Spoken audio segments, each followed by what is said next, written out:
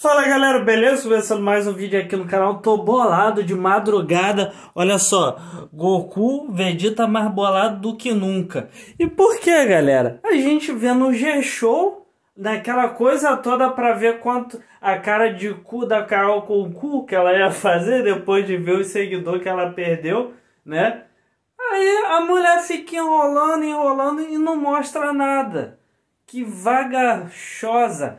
Aí não adianta é, procurar, né? Porque a galera procura. Vamos ver a cara que ela vai fazer. A mulher enrolou, enrolou, enrolou e não mostrou.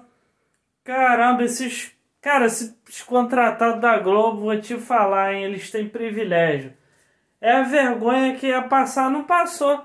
Cara, que palhaçada, maluco. Na moral, fiquei horas e horas aqui e não tem ah, meu irmão, olha só outra coisa. Foi tudo a armação da Globo. Quando ela saiu, ela conversou ali em off ali com os bastidores ali, com o Thiago Life, e falou que a vida dela aqui fora tava uma merda. Por isso que ela pediu desculpa e aquela coisa toda. Então, ó, a Globo, ó, a Globo é safadinha, rapaz.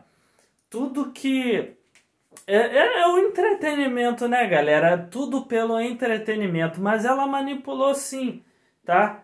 Ela, ela conversou, com certeza teve uma equipe ali que quando os brothers saem ali, assim, com a eliminação, vai direto conversar com o Thiago. Acho que é isso, se eu não estou enganado. E dessa vez teve propaganda, a equipe conversou com ela.